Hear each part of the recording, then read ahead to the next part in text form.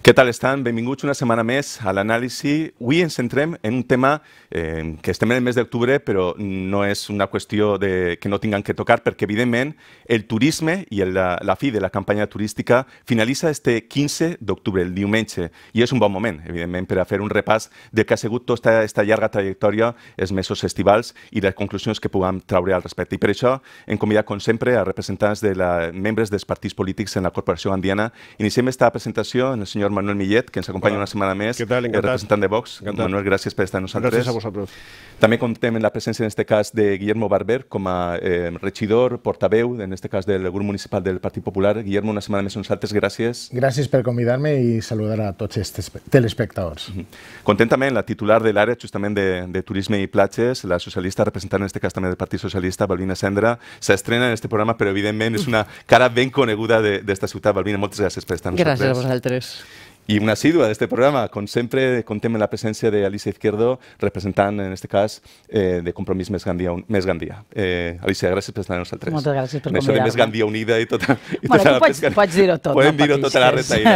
No? sí. Però bé, és, és important, evidentment, Alicia, eh, donar els termes eh, justament com, com no, toquen. Tranquil. Eh, anem a deixar un minutet a la, a la publicitat. Tornem de seguida en esta qüestió. Abordem el turisme i la fi de la campanya turística.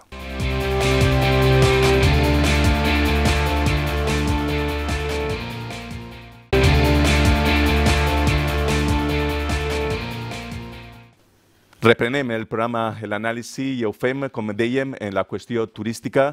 Iniciem este repàs del que ha sigut la campanya turística i tots aquests afers relacionats en aquesta matèria tan important per a la ciutat de Gandia, en el senyor Manuel Miller, representant de, de Vox.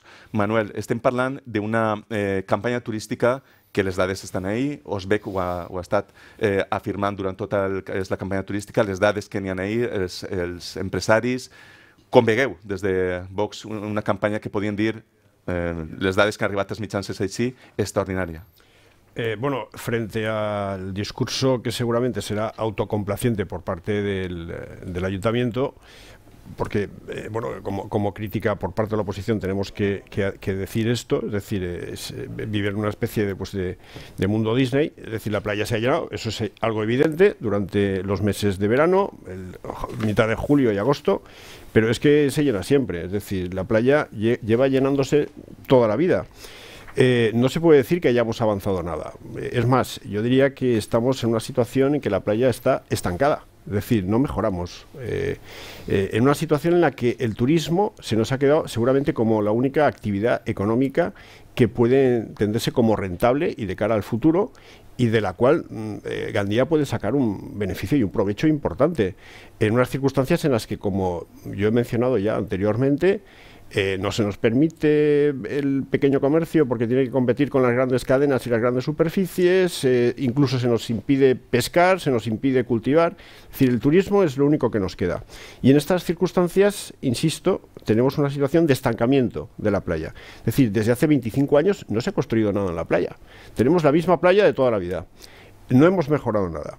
Luego, por otra parte, está el problema de la desestacionalización. Tampoco se ha conseguido eh, esa desestacionalización. Eh, por parte del ayuntamiento se nos dirá que este mes de septiembre ha sido excepcional, pero lo ha sido porque las temperaturas han acompañado. Y no solo en Gandía.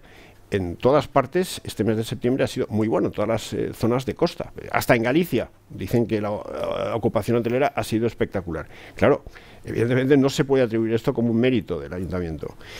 Eh, por otra parte, tenemos un tipo de turismo que cada vez tiene menos poder adquisitivo. Eh, voy a comentar rápidamente una anécdota respecto de, este verano. Me han dicho, bueno, pues es que hay tres personas que van a una pizzería y se piden una pizza para las tres y, dos refrescos.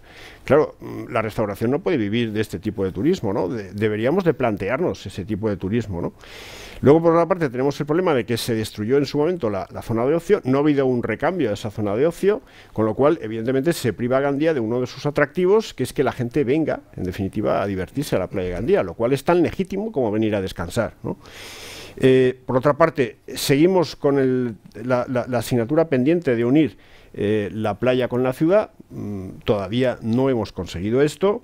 Eh, seguimos sin tener un acceso norte a la playa de Gandía, con lo cual eso también es un problema de, accesibilidad. Es un problema porque mm, la gente no viene con la misma facilidad tenemos un problema ya de siempre de, que falta de, parkings. Eh, también hay una anécdota al respecto de que eh, un señor llega a la playa de Gandía, aparca el coche y no lo mueve en ocho días que va a estar en la playa por miedo a que luego no tener sitio de aparcamiento. Es decir, es un problema estructural gravísimo el tema de la falta de parkings. Y luego tampoco tenemos un calendario de eventos que supla o en definitiva supere ese problema de desestacionalización que he comentado. Eh, no quiero extenderme más porque evidentemente quiero dar mm, lugar a las intervenciones de los compañeros, pero bueno, sobre todo quisiera mencionar el tema de que, bueno, parece que el concepto de prosperidad haya desaparecido de nuestra cultura y nosotros lo queremos reivindicar.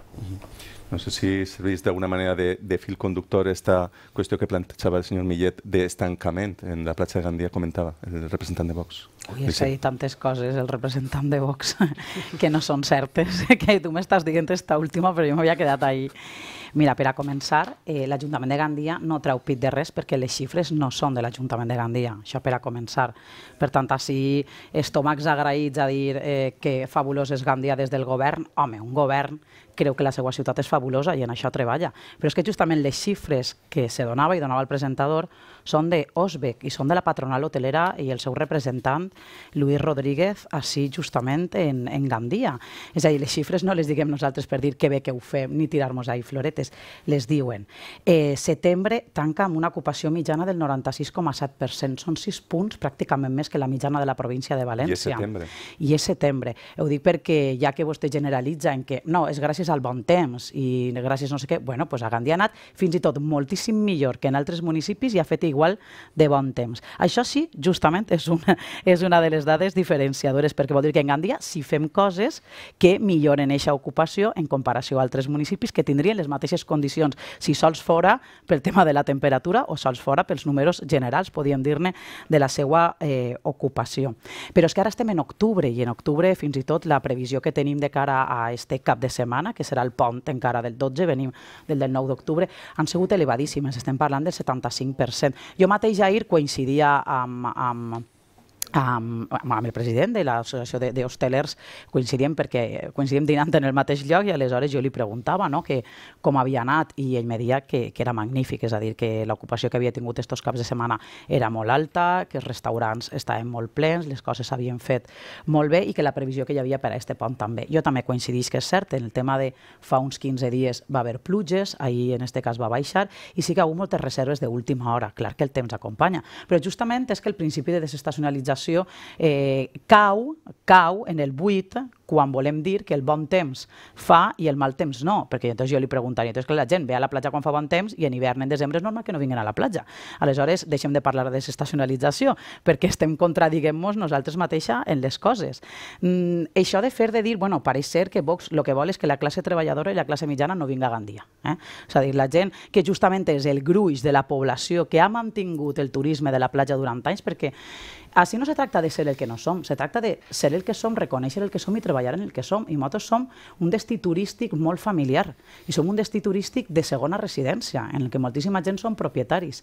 I vostè diu que les coses no canvien. Els hotels han augmentat, han millorat, s'han renovat, tenim més places hoteleres, tenim els espais medioambientals, se fa millor gestió cultural dels espais patrimonials, s'ha augmentat l'oferta turística, els horaris, les visites, fins i tot les actuacions en la platja diversificades per edats. Es fan a la platja, es fan en el grau, es fan en Gandia, perquè a Gandia també és important que vinga la gent en agost, justament per a que torni en setembre. Que el que passava abans és que la gent venia a l'estiu i pensava que la platja era una cosa i el pueblo, el pueblo. per dir-ho així, era inexistent. És a dir, que això de que no se fa res no és. Nosaltres no podem estar pensant en aquest turisme de rics que pareix que sembla ser que és el que vostè diu, perquè aleshores des desapareixeria totalment aquest model. Respecte a l'oci, crec que la setmana passada ja parlàvem al respecte, però bueno, si voleu després anem un poc eh, intervenint més, però jo crec que la línia justament és treballar. I a més, este cap de setmana sé que la regidora de Turisme i Cultura. Tenen un cada setmana damunt amb una programació super, super xula, pensada a través del que ha sigut la declaració de les falles com a interès turístic nacional, que justament està pensat en aquest principi, el de la desestacionalització, si és que aquest concepte encara existeix, que jo ja vull començar a negar-lo. Jo crec que hem de parlar de diversificació, de diversificar oferta turística al llarg de l'any. Uh -huh. Senyor Barber, eh, estem parlant d'una temporada turística que les dades están ahí, han sigut excel·lents. Sí, bien, yo en primer lugar lo que quiero es eh, manifestar mi respeto y consideración hacia la nueva concejal de turismo, que apenas lleva 100 días en el cargo y por lo tanto no se le puede atribuir los males que a lo mejor eh, nosotros desde el Partido Popular sí que consideramos que existen y, desde aquí le lanzamos una mano para que en todo lo que podamos colaborar y ayudar en esta nueva etapa, si así lo considera, aquí nos tendrá. Eso no quiere decir que nosotros eh, no analicemos de dónde venimos, eh, bueno, y, cada uno pues tendrá su opinión. Eh, vamos a ver, a mí centrarse en que los números, o que la playa Gandía o que la temporada estival en Gandía ha ido bien, porque lo dice Osbeck, pues para mí, sinceramente, es como cuando eh, la señora Pepa Frau o el señor Orengo decían que la playa estaba llena porque los kilos de recogida de basura, y eso era así, era, era, un, era un dato significativo que decían que en la playa había habido mucha más gente y que por eso estaba llena, porque eh, los camiones de basura recogían más basura. Eso, sinceramente, eh, una ciudad como Benidorm, si no me equivoco, creo que tiene 60.000 o 70.000 plazas hoteleras y la playa de Gandía apenas tenemos 6.000. Por lo tanto, eh, eso unido a que la playa de Gandía es una playa donde hay mucha residencia, eh, segunda residencia, unido a que hay mucho eh, apartamento de alquiler, pues bueno, está claro, la playa de Gandía, lo ha dicho el señor Millet, siempre está llena, en verano siempre está llena, ¿no? a partir de ahí, está claro que después de la pandemia, em, el mundo ha sufrido una pandemia, Gandía, que Gandía, no Gandía, España, que vivimos principalmente del turismo y el sector turístico ha sufrido mucho, muchísimo y ahora ya estamos volviendo a los niveles prepandemia, que eso también es algo significativo y algo eh, muy bueno. Yo, sinceramente, hablar de turismo no es hablar de la playa, sino yo creo que en esa, en esa labor eh, muchos partidos hemos trabajado y al final se ha conseguido un poco que no se, que hablar del, del turismo no solo sea hablar de la playa. Y en este sentido yo tengo que decir, igual que tengo que decir unas cosas, digo la otra. A mí me ha gustado mucho y así lo dijimos desde el Partido Popular, pues que el Mediterráneo viniese en pleno agosto o que el, o que el Pirata viniese en agosto, los eventos. No, no tiene sentido que lo, que lo critiquemos porque es algo por, por lo que el Partido Popular apostó. ¿no? A partir de ahí... Yo creo que la famosa desestacionalización, eh, pues bueno, se intentó y se, busca con los eventos deportivos en invierno, pero yo creo que falta un poquito más de ambición, ¿no? Eh, eh, Gandía es mucho más, Gandía, y, Gandía es mar y montaña, es decir, está bien promocionar los, los está bien promocionar los, los conciertos en verano, pero jolín, a mí me gusta mucho hacer senderismo y, la Safor tiene una serie de rutas increíbles de montaña que nos explotan. Yo lo he hecho, es decir, un día ir, irme de buena mañana a caminar por la mañana y a mediodía estar tomando el baño en la playa de Gandía. Eso es magnífico, eso eh, muchos de nuestros competidores no lo tienen. Y nosotros sí que lo tenemos y no lo sabemos aprovechar. Eh, la playa, ya centrándonos en la playa, para mí, pues tiene males endémicos que, eh, que, veo de difícil solución. Y sinceramente, eh, con, con, con, quienes nos gobierna ya casi 40 años más, porque seguimos sin tener un acceso eh, norte a la playa Gandía, seguimos sin tener un acceso a la autopista, seguimos con problemas de tráfico este, este verano, no contentos con todo ello, eh, eh, no contentos con ello, hemos metido zona morada para que paguen. Eh, no sé, yo veo bastantes problemas que son males endémicos de la playa que, veo que no tienen o que no hay solución, ¿no? Y hay mucho trabajo por hacer, porque, porque desde luego nosotros vivimos del turismo y no tenemos que conformarnos con lo que hay hay que buscar alternativas. El Partido Popular en su día buscó, eh, tuvo la iniciativa de hacer un campo de golf y no se trata de turismo para ricos y turismo para pobres. El que venga, sea rico o pobre, bienvenido. Bienvenido, porque a lo mejor mi hijo trabaja de camarero en verano para pagarse los estudios y venga un pobre o venga un rico, si paga su comida, si paga su hotel, si paga su desayuno, va, va a influir en que mi hijo tenga eh, trabajo este verano. Por lo tanto, hablar de eso hoy en día es, para mí, eh, eh, es absurdo. Nosotros apostamos por un campo de golf porque pensábamos que eh, podía tener mucha repercusión, que no entraba en competencia con Oliva, al revés. Cuando tú hablas con, los gerentes o con la gente que tiene o dirige otros campos de golf, dices es que a nosotros nos interesaba que en Gandía hubiera un campo de golf. O los eventos deportivos, por ejemplo, el volei frente del Bayern. No me quiero extender más, pero bueno, en fin, esta es mi primera intervención. Al respecto, respecte, entenc que la regidora de Turisme alguna cosa tindrà que dir, senyora Sembra. Sí, eh, primer que res, agrair-li la confiança al senyor Guillermo per, bueno, per donar-me la confiança en este primer debat i en esta primera legislatura. Eh, jo vull posar en valor eh, les xifres, com ha fet eh, la regidora Alicia Izquierdo, eh, un 75% de previsió d'ocupació en un pont no és una xifra habitual i és una previsió que ens ha fet eh, el president dels hotelers de Gandia i que ara mateixa sabem que s'està complint. Després, una, una mitja d'un 90%, que és la que ens marca la patronal de Gandia, no Osbec, perquè Osbec sí que té altres xifres, està clar que Osbec eh, posa les xifres un poc per damunt, però bé, hem anat a preguntar als interessats per saber com funcionava la nostra temporada i un 90% en la segona quinzena de setembre, faig bon temps o no en faig, eh, és una bona ocupació. La primera, evidentment, va ploure, però tampoc va anar malament, perquè també teníem altres coses que oferir-los. La nostra programació no ha acabat. A mi eh, em sorprèn molt, molt quan es parla de la no desestacionalització o no diversificació, però sobretot la desestacionalització, perquè jo crec que el nostre govern des del, 2000, des del 2015 fins ara s'ha esforçat molt per a incorporar a l'agenda del turista altres tipus d'activitats, activitats que van des dels museus, activitats patrimonials, activitats de medi ambient, visites al medi ambient, a la cova del Parpalló, activitats esportives... Pense que sí que estem posant en valor, pense que sí que estem treballant-ho i pense que sí que tenim una Gandia mm, bastant desestacionalitzada, tinguent en compte que som els primers en obrir els serveis de la platja en març i ahir comencen les nostres activitats. En el cost que això suposa. En el cost que això suposa eh, i, i la mantenim eh, pràcticament fins a novembre. Eh, I tant fem això per a tindre-la en marxa com treballem en la promoció. De fet, acabem de fer una inversió de 30.000 euros en promoció online eh, que treballarem com a fonament amb el sector turístic que està treballant paral·lelament una base de dades per a poder enviar segmentada la informació als diversos tipus de públics que ens visiten.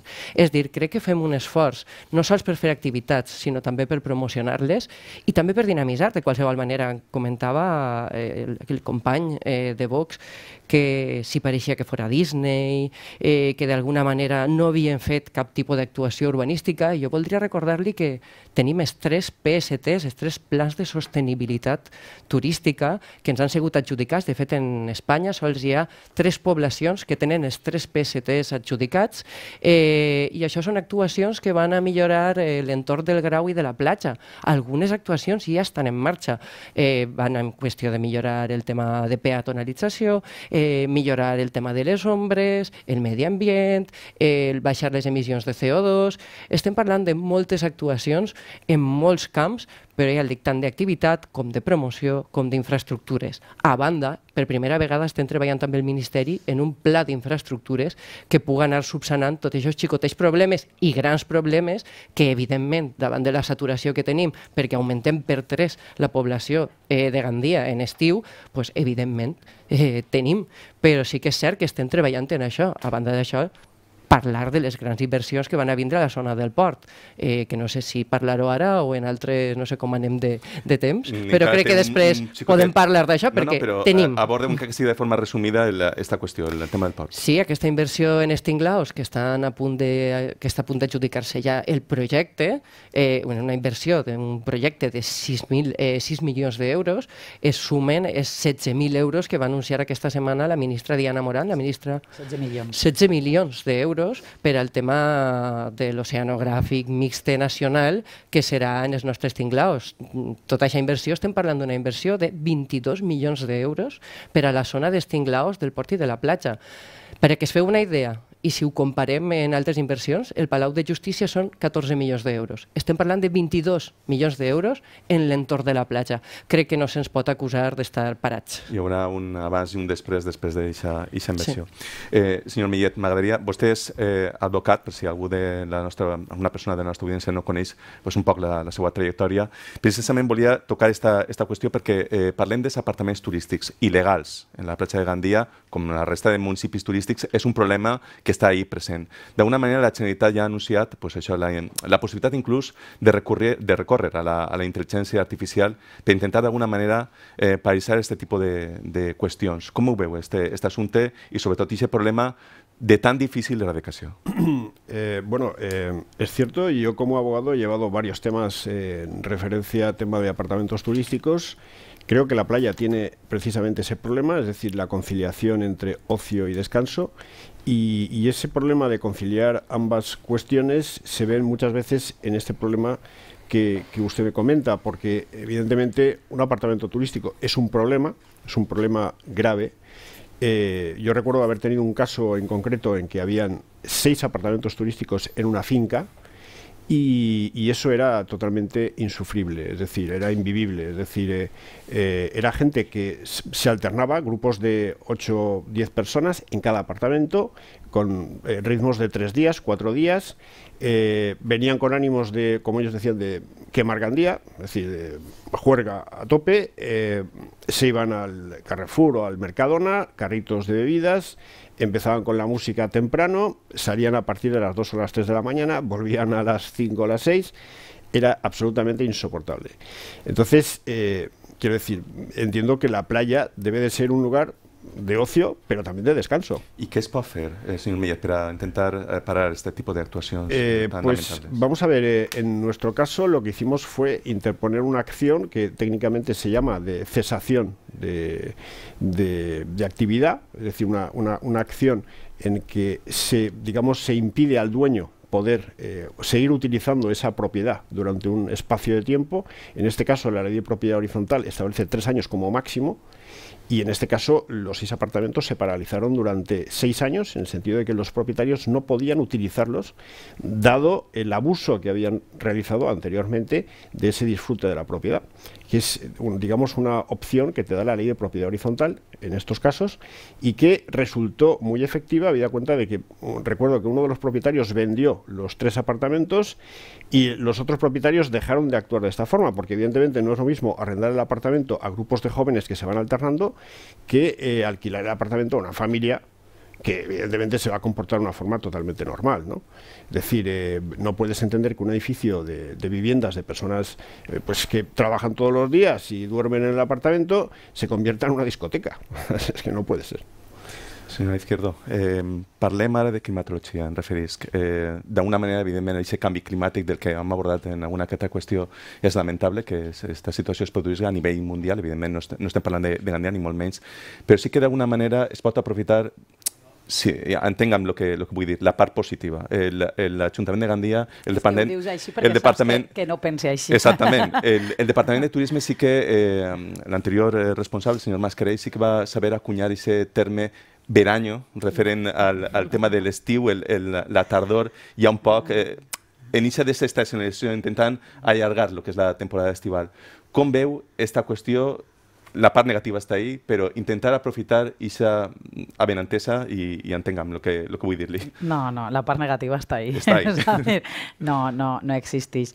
Bueno, primer que res, sí que hi ha un dato que jo crec que és important ara que parlem de qüestió mediambiental mm i, i te vaig a contestar de seguida realment el que pense i el que pensem un poc, també tot el sector eh, que es dedica també professionalment i al món de la investigació i els científics en el món pues, de l'ecologia, en el seu terme més generalitzat.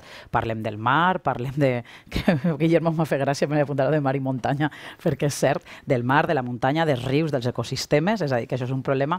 Però bueno, quan apuntaves lo del camp de golf, eh, el camp de golf, este govern no és que no el va fer, és que el va tombar, la, la, o sea, el va tombar el govern valencià i el va tombar la justícia perquè era totalment il·legal i atentava mediambientalment contra la marjal. És a dir, jo crec un dato que de vegades és que ha quedat com un poc així de dir este govern no va confiar en el golf. No, no, el va tombar la justícia directament perquè veia que era un projecte que atentava totalment contra el medi natural. Justament si estem parlant que els potencials que Gandia ha de tindre han d'anar més enllà del mar, és que estic en tu totalment, Guillermo, i en la muntanya el que no podem fer després és plantejar infraestructures que justament van a carregar-se la muntanya, perquè si no al final tornem a lo mateix, que no se moguen de les quatre línies de blocs urbanitzats en la franja litoral i aleshores desapareix. I també estic totalment a favor en que els destins turístics va més enllà del propi municipi. I Gandia al final no deixa de ser la capital d'una comarca espectacular amb un patrimoni, un medi ambient i una gastronomia magnífica i la gent ha de poder voltar per la comarca i per totes les comarques del voltant. No és bona la temperatura que està fent Enrique, no és bona no. És cert que com estem parlant de turisme i de platja, perquè estem lligant-ho molt, i jo crec que ahir també tots els companys hem coincidit en que Gandia és més que la seva platja. La seva platja seria una joia en la corona de, de la ciutat, però és molt més que la seva platja. pues clar, si ja parlem d'aquest clima, aleshores voldria dir que quan no faig bon clima i no estiga a la platja, Gandia desapareixeria del mapa turístic, que és justament el que no volem, el que estem parlant, el que estem defensant i el que estem treballant. Per tant, no és bo el que està passant, perquè a més saps que desregula els ecosistemes, que és el que estem parlant.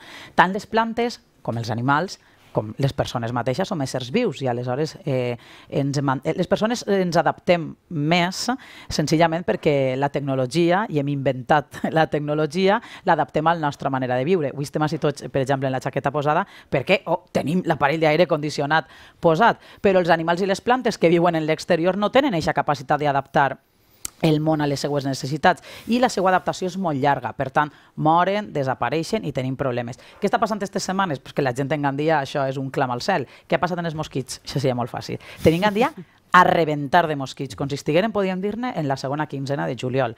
Ha plogut, la humitat és altíssima, la temperatura és altíssima. Això què vol dir? Pues que hi ha espècies que moren, espècies que tornen a proliferar i l'ecosistema pateix. La gespa està altíssima. Per tant, jo vull dir que sí, però que, però que no. Que no. que no. Senyor Barber, eh, evidentment, m'agradaria tocar una qüestió. Estem centrant-nos molt en la part eh, pública, però què hi ha de la part privada? Què ha de fer el sector per intentar també millorar, que al cap i la fi són diners de la seva butxaca? Bueno, yo antes que nada me gustaría, un pequeño inciso, hacer una, romper una lanza en favor del cambio climático que hemos hecho en Gandía. A favor del cambio, no, en contra. En contra. En, perdón, perdón, perdón, perdón, en contra, va a posar nervios, en contra del cambio climático con las cabras que pusimos en el bollo de la creu, ¿no? Desde, luego, no a mí, desde luego a mí me han hecho muchísima compañía durante estos cuatro años porque subo mucho al bollo de la creu. Bueno, fuera de bromas... ¿Pero cabras eh, han estado tres meses? No, va a estar el año pasado, vamos, pues no tengo fotos yo de... Están allí, claro. Están por allí. Tres meses. Bien, sí, a ver, eh, la iniciativa privada, desde luego, vamos a ver si la iniciativa privada si la iniciativa pública tira. Eh, la iniciativa pública en este sentido y en el sector turístico es quien ha de ser la punta de lanza, ¿no? Y yo creo que una demostración de lo que estoy diciendo es el famoso ferry Gandía-Ibiza. Prometido, eh, recontraprometido en Fitur y sin embargo la empresa privada al final no ha venido precisamente por eso, por esa falta de infraestructuras, porque tú no podías llevar a los turistas, dejarlos en el grao y que se fueran a la otra punta del... que recorriesen casi tres kilómetros a pie con las maletas, con el sol. Es decir, la iniciativa, la iniciativa privada funciona si va la, priva, eh, eh, la iniciativa privada funciona si la pública facilita las cosas. O sea, actúa como un motor. Efectivamente, es decir, por ejemplo, los, yo he hablado con muchos eh, productores de festivales, al fin y al cabo, eh, eh, o con gente que quiere invertir en Gandía, lo que buscan en el ayuntamiento es un, una complicidad, o, no, o sea, ni siquiera que le faciliten los trámites ni que le hagan ningún favor, simplemente que, que haya una complicidad y que los dos caminen de la, de la mano, ¿no? Yo creo que eso es lo que hemos de buscar, ¿no? Y yo creo que pues eso es lo que yo he echado en falta eh, durante estos años al, gobierno municipal, ¿no? Esa complicidad, es decir, y lo voy a decir claro, la iniciativa privada no es controlar las asociaciones de empresarios eh, de hostelería o de comercio, en, eso no se trata de eso. Se trata de dejarles trabajar, que puedan trabajar, que no, que, no se plante con todos los respetos. Un policía local a la una y media de la mañana en una, terraza de una heladería y que, que, la gente se asuste porque aquí pasa algo, ¿no? Es decir, se ha de buscar una complicidad y eso, alguien que viene a invertir a la playa de Gandía eh, lo ve una vez y ya no vuelve, ¿no? Entonces, bueno, por eso quiero decir que, que, que el ayuntamiento tiene que eh, ser la punta de lanza y ejercer su responsabilidad. Senyora Sendra, eh, parlem de falles, Setmana Santa, Fira i Festes... Uh -huh. Queda alguna qüestió que pugui aportar Gandia per intentar eh, potenciar la seva atracció turística o ja ho han posat tot i depèn un poc també del que també la, cap a la fi la gent eh, decidisga i vega, sobretot en aquests grans escaparates com són, per exemple, Fitur. Dins de poc anem a, a tindre aquesta fira internacional. M'agradaria primer sí, contestar no, eh, un poc eh, al tema de la naviera, sobretot parlàvem de la iniciativa privada i jo pense que sí que estem fent de grans facilitadors eh, per a iniciatives privades, els concerts i els festivals són una gran prova. De fet, ara en Halloween tindrem una altra gran... contestant també al que estava preguntant Enrique. Tindrem Halloween, tindrem en la Nochevieja una altra aposta d'un empresari privat. Estem fent el màxim per facilitar. Per què no facilitem a una naviera? No és que no facilitem, és que després de la pandèmia la naviera Naviera va entrar en una quebra i nosaltres haverem posat moltes més infraestructures i haverem ajudat a que funcionara molt millor, però després del 2020 la Naviera eh, no, no ha reprès eh, esta, aquesta via. Eh, però no l'hem no tirada, ni no l'hem recolzada, ni cap cosa d'estes.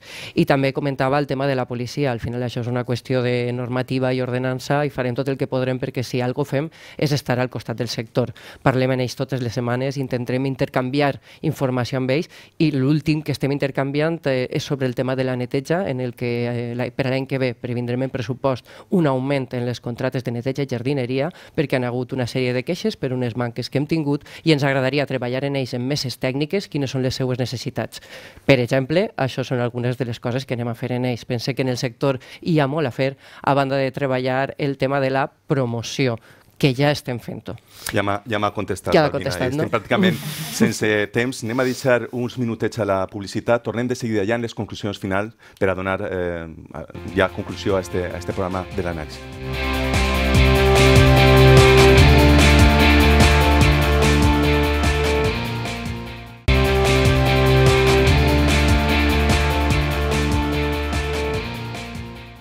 Reprenem ja l'última part d'aquest programa de l'anàlisi. Recordem eh, la qüestió turística, eh, abordem avui aquesta qüestió. I ja aquestes eh, últimes eh, conclusions en format titular, Manuel, perquè estem eh, pràcticament se, sense temps. Senyor Millet, eh, comenten, ¿quién es la principal conclusión de este, de este programa? Eh, yo, yo, entiendo que, insisto en el hecho de que la playa sigue estando, sigue, sigue estando paralizada, está estancada, eh, no se des, desestacionaliza y que eh, el tipo de turismo, por ejemplo, que tienen otras zonas de la comunidad valenciana, por ejemplo Alicante, eh, no viene aquí, habría que intentar traerlo de alguna forma y lamentablemente, bueno, pues el que viene solo está un mes y medio. Entonces, evidentemente, con un mes y medio poco se puede hacer. Gracias, señor Millet. Prisa, sobre todo, eh, resum. Eh, Alicia, eh, quina serà la principal conclusió d'esta esta qüestió? Jo crec que, efectivament, el govern que va entrar en el 2015 va entendre molt bé el tema de la diversificació i el tema de que Gandia ha d'estar oberta tot l'any. No hi ha un cap de setmana que no hi hagi un event o una activitat pensada per a diferents edats, diferents públics que atraga gent de fora. Este mateix cap de setmana tenim el tema de les falles, però tenim també el festival, l'R Festival, ve moltíssim moltíssima gent, ve el Cortuns immediatament, ve moltíssimes coses i acabem de vindre de la Fira i Festes. És a dir, jo crec que la gent el que ha d'entendre, i crec que la promoció que s'està fent des de turisme i des de molts altres departaments és molt bona, que és que a Gandia tot l'any n'hi ha activitats que fer, tant a la platja com a la ciutat. I per tant, que dona igual que tu vens i sempre te trobes alguna cosa bonica per a fer. Aquesta és la sensació que dona la gent que ve de, ve de fora. Gràcies, senyora Izquierdo i senyor Barbert. També la seva conclusió per part del Partit Popular. Un resumen. Confianza en la nueva concejal de turismo, pero también eh, estaremos vigilantes, porque desde luego eh, la experiencia que nos trae hasta aquí es de miles de promesas incumplidas y que eh, el turismo y la playa Gandía sigue teniendo los problemas que hace 40 años tenía. Uh -huh. Senyora Sandra, punt i, i final. Jo crec que podria dir tres coses. Eh, més de 1.000 activitats al llarg de tot l'any, sense parar, i, bueno, 1.000 concentrades en estiu i moltes més de 1.000, no sols programades per nosaltres, sinó per els espais patrimonials, eh, visites al medi ambient, eh, inversió en promoció junt al sector privat, treball amb el sector privat, i treball en urbanisme a través dels PSTs, no sols en l'urbanisme, sinó també en el destí turístic intel·ligent, que és molt important per entendre tot el que estem parlant i anem a treballar des d'ahir la governança del turisme. Ho deixem així, senyor Millet, senyora Sandra, senyora Izquierdo i senyor Barber. Moltíssimes gràcies una vegada més per haver-nos acompanyat en aquests minutets i haver-los dedicat sobretot a, sobretot a, a vostès i aquesta qüestió que hem, que hem d'alguna manera desglossat com és el turisme. S'esperem la setmana que ve, com no, així en l'anàlisi.